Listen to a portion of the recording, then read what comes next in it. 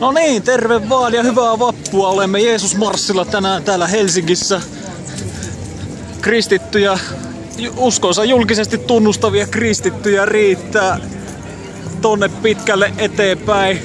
Ei riitä estämään katu täällä Esplanadilla tähän ihmismäärään kristittyjä täällä pääkaupunkiseudulla.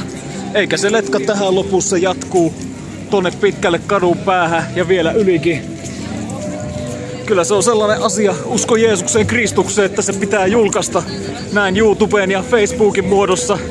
Media huomiota nämä tapahtumat ei ole aina jostain kumman syystä saanut, vaikka nämä on ollut monesti vappuna väkimäärältään jopa suurimpia marsseja.